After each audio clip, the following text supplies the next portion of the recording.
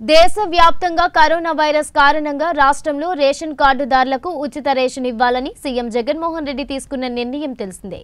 ఈ క్రమంలో మూడు విడతలుగా ప్రజలకు ఉచిత రేషన్ ఇవ్వడం జరిగింది.